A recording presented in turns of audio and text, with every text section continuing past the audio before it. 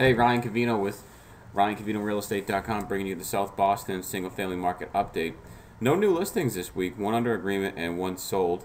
I'm sorry, three sold, but I want to show you one of them. It's 221 West 5th Street, which was a developer's to let you watch. This place is going to pop back up on the market in about four months. That's going to be three different condos or two high level units. Um, I showed this to one person, we just couldn't get things together quickly enough but it is uh, pretty much.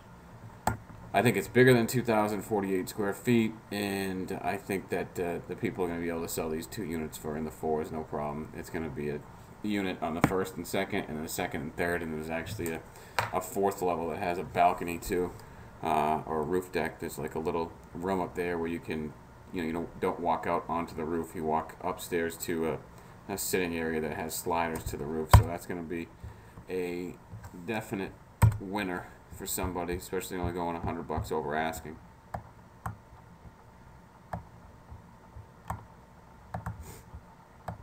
So let's take a look at the averages though this week for single families. We got what's this one that reactivated? 677R East 2nd Street. Private single family, 1800 square feet. Multiple living needs private. Uh, so there's some things going on there, but let's go ahead and find out what we got.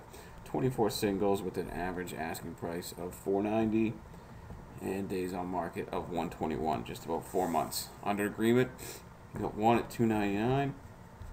That took longer than that, even though the price was lower. And then the three listings that sold average out to be 478, and the market time is 75 days. So the stuff that was just about the most expensive took the quickest amount of time. And even though these sold were 111 and 112, they were 440 and 695. They were still lower than the 121 days on market. So the one that was three for 300 just kind of helped things a little bit more. If you have any questions, give me a shout. Ryan at ryancovino.com.